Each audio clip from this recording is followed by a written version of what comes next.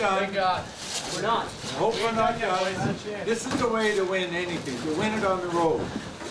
And to win it- and to win it a team. I don't think we can pick any one guy to sing this song. This is about the team.